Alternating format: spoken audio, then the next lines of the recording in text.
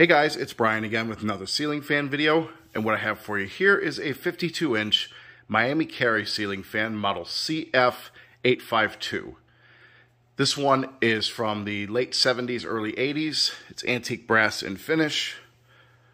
It has teak wood blades and these very unique, almost fleur-de-lis, sort of Chinese throwing star looking badges which are very unique and I love them. The blades are in good shape, albeit a couple of scratches. It is light kit adaptable. It has a cast iron spinner motor, J-hook mount fan, and I'm using a factory five-speed wall control to demonstrate the fan. It is not the wall control that came with this fan, but it's pretty much the exact same thing that would have come with it, so that's good enough for me. Now, most of you will recognize this fan if you've been following my channel. This is my number two childhood fan of all time, and this is my very absolute favorite spinner motor fan of all time. And in a nutshell, what this is, is it's made by Union. It's relabeled as Miami Carey, and they were based out of Monroe, Ohio.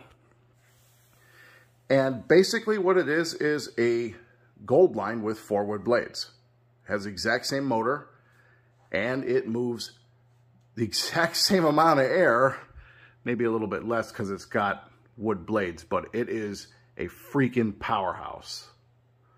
So, without further ado, let's turn it to number five on the lowest speed, and we'll demo it.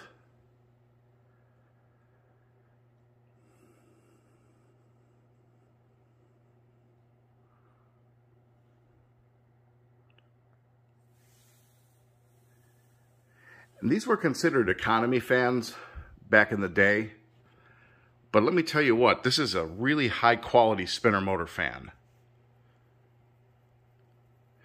It does have a bit of a wobble to it. The blades are slightly warped.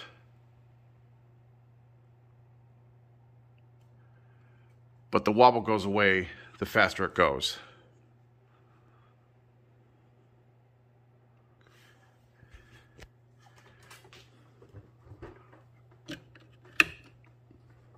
Speed number four.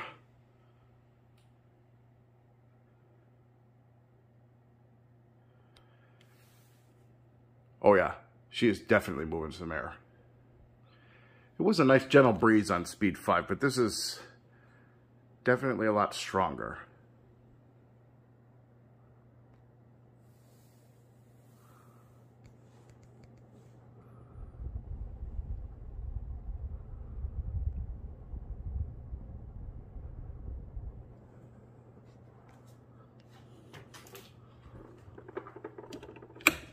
Three.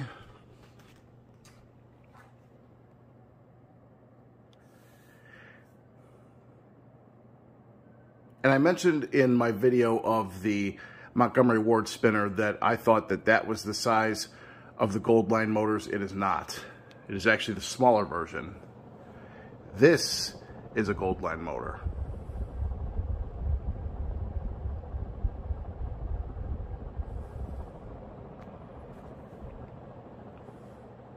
And it is absolutely cranking out air. And we've got two more speeds to go. This is like a high speed on a normal fan.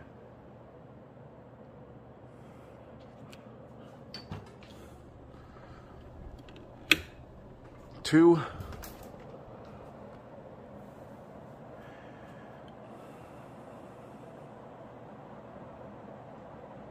Oh yeah.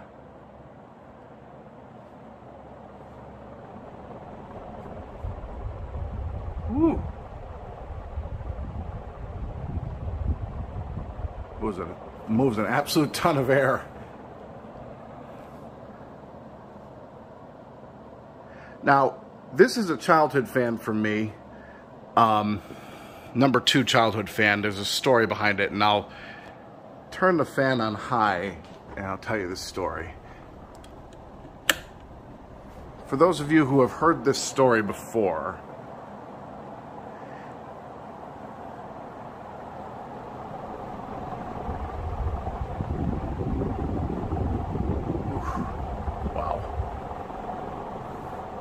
She is absolutely hurricane mode right now. Hauling ass and moving a ton of air while they're at it. What a powerhouse. So anyway, getting into the story of how this fan is significant in my childhood. Uh, there was a place in Rocky River, Ohio, where my mother used to get her hair styled. Um, and the guy who owned the place had one of these in the salon that was white and polished brass. And he used to let me play with it all the time. And it wasn't on a factory wall control, it was on a solid state control.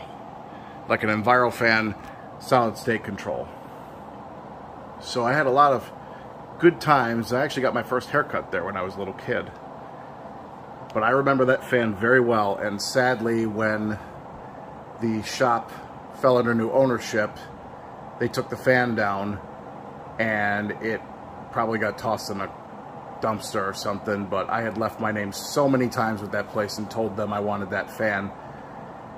But sadly, that fan is no more.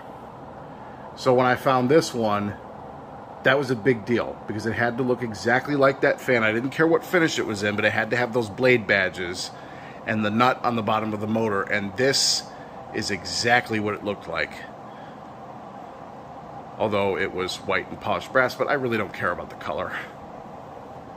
I actually kind of like the antique brass a lot more. So we'll go ahead and we'll spin down.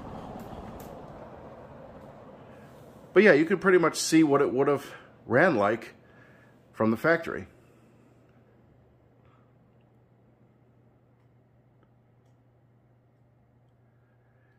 This is one of the most important fans in my collection, and this is one of my most coveted fans. So, for any of those who are thinking of trying to get this from me, no. That is not going to happen.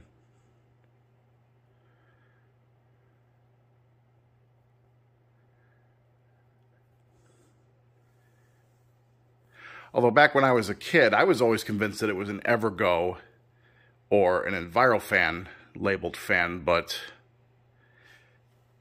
I have actually seen this particular combination labeled as Evergo before. I've actually owned one that was new in the box. So that van could have been an Evergo.